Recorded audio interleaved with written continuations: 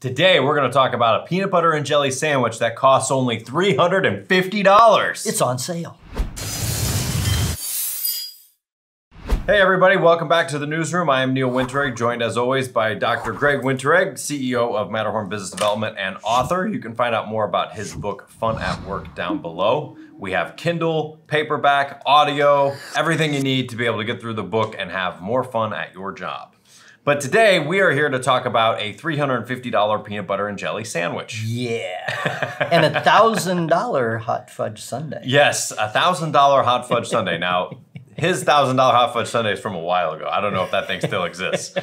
he likes talking about it. So we saw an article about a restaurant in Chicago that saw that some restaurant was charging $299 for a peanut butter and jelly sandwich. So they went to the next level and they have gold leaf bread and amazing honey and jam and all kinds of stuff. And they charge $350 for this peanut butter and jelly sandwich. I love it. Now, at first glance, that's a lot of money for a peanut butter That's and jelly sandwich, isn't it? for a PB and J. It's a lot of money for a peanut butter and jelly sandwich. But you have to think about your product or your business and what is the actual value Mm-hmm. of what it is that you do. Yep.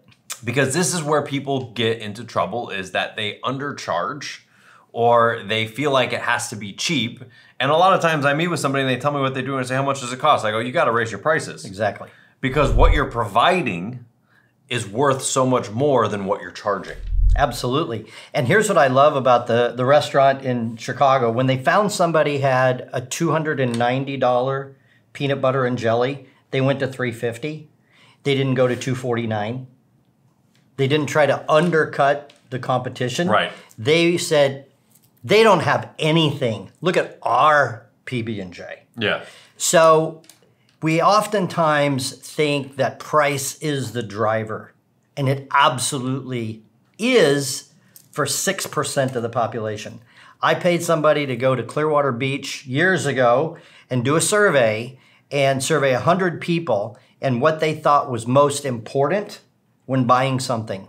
39% said they wanted a sales rep that was helpful.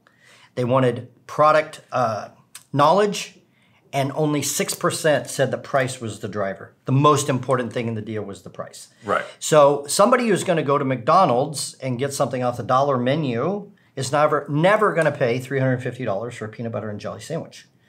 So you have to take a look at the value of what you're offering. There will always be people out there that will pay for it. And it's also very possible that the $350 peanut butter and jelly sandwich is just a PR play to um, get a news article written by them, which worked. And Mm-hmm. It worked. have two morons talk about it. So that's also worked. So, But it's also driving people in who Correct. just want to see it.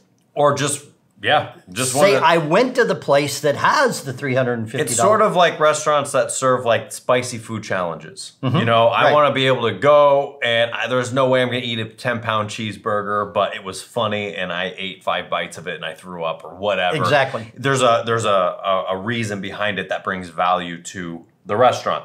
But let's look at um, like Rolls Royce, for instance. Right. A cheap new Rolls Royce, I think, is four hundred thousand dollars somewhere in that yeah. ballpark, and you can get ones that have starlight pattern lights that flash up on the on the ceiling. And you know, I look at that stuff and I think that's ridiculous. I would never buy a car like that because I want something that's fast. I want this. I want you know. But let's let's look at something for a second here. I had this realization once when I was out with one of my friends when we were doing public speaking, and he liked to go out and eat expensive dinners. Mm-hmm. So there'd be five or six of us on the road. We're cheap, he's not. so he would go off and find the expensive, fancy places, and it would be a two hour dining experience by himself to mm-hmm. go and eat at these places. And he would spend two or three hundred dollars on himself. on himself. Yeah. And sometimes we'd be like, "Oh, was that expensive?" He's like, "Oh no, it was only 180, you know, or whatever." And we're like, "We spent 15 on a cheeseburger, you know." But then I did the math one day. Yeah. If you take how much money he makes True. versus how much money I make, mm-hmm. he's actually doing better on his $200 dinner than I did on my $15 cheeseburger. Isn't that funny? If you As think far as about the it, right? ratio, as far as the ratio goes, I was splurging. You know, I was splurging on my $15 cheeseburger if you think about it, right? Right. So, in reality, maybe a $350 peanut butter and jelly sandwich for some people Well, is like me eating a Clif Bar. Yeah, it's going to attract a different segment of the population. Mm-hmm. And so maybe you've heard the story of somebody who was trying to sell their house for 300,000 and they bumped it up to 345 and then it sold overnight. So there's always that segment of the population that is going to look for something higher priced as long as you can provide the value. And that's the part is that It's the value. it can't just be the price. Right. It has to be what it is that you're actually bringing to the table. And so on the peanut butter and jelly, there was some gold foil something. The honey came from, you know, planet Mars or something. And like it was, they felt like they added the value. So now here's my point. We oftentimes, as entrepreneurs, we add the value, but then try to compete on price. You have to decide are you competing on the value or are you competing on the price? Because if you're competing on the price, you can't have gold foil and honey from Mars you're, you're going to have to like lower your standard if you're competing on price. So for me, I'm always one to compete on value. So Now, charge what you're worth and then deliver that and more. Over deliver it beyond and you'll have customers for life. Yeah. Now, I will say there is a unique situation that you can sometimes find yourself in where you can bring more value and less price to the table than your competition mm-hmm. and just be totally unique and totally different. Now, I actually have experience in this with something that I'm doing mm-hmm. where I can afford to sell something less and have a better quality product than the competition. And that is because it's just me. Yeah. I don't have a warehouse, I don't have staff, I don't have things. Now, if I were to hire people and I Mm-hmm. was to get a new location, then my price would all of a sudden Have to go jump up. up Yep. and it would be a different story. So you might be able to do both. Mm-hmm. Entrepreneurs think outside the box to where you can actually charge a lower price with a higher quality and still make a great profit because of the way you have it set up. But